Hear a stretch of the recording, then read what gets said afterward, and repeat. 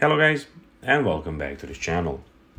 Where today guys, I'll be showing you how to set up biometric authentication on Binance. So guys, the first thing that you of course need to do is go to the Google Play Store or the App Store and download the Binance application. Now after that, you just need to go and log into your profile or guys, if you have one, you can always go and register. If you don't have one, you can always go and register to Binance. But now guys, let's see what we actually have in front of us here.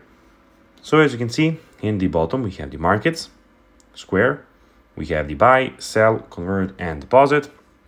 We have the discover and the portfolio as the last tab on this application. But now guys, let's see how you can actually go and set up biometric authentication on Binance. So basically, you need to, of course, firstly log into your profile.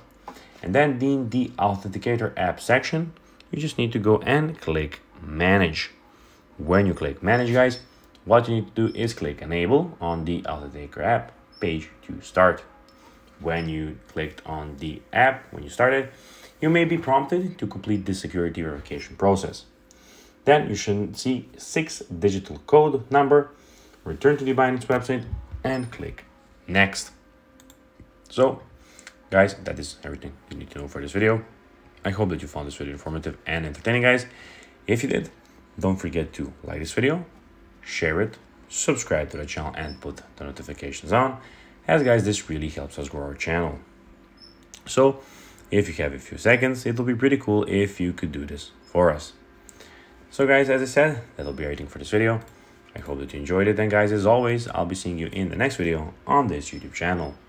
Until then, bye guys.